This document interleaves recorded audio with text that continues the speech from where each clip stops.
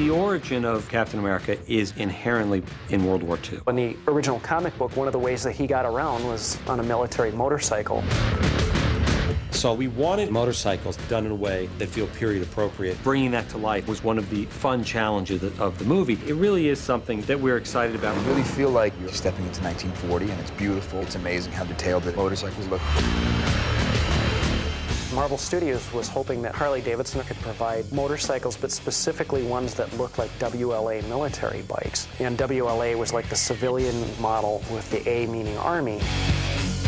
We're looking at reference material that we have. We're looking at bikes that really do exist, trying to stay true to the period, but giving the Marvel universe spin to it. And I think we've been very successful. It is always the challenge of our movies to bring that two-dimensional image to life in a three-dimensional film. Not only Captain America, but the iconic shield, the motorcycle, everything that you want to see in a Captain America movie. We're bringing to life in a way that I think you will believe it when you see it in live action. Joe Johnston was involved before any work had started on the bikes because he had been very specific about the fact that he wanted these motorcycles to look as much like authentic World War II Harley-Davidson motorcycles. The 40s is such a toy box of vehicles and fashion and architecture, and it seemed like a great opportunity.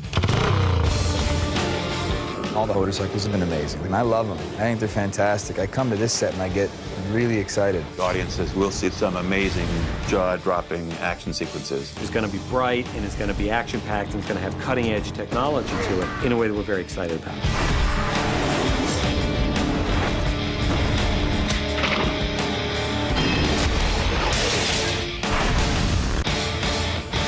I think it works.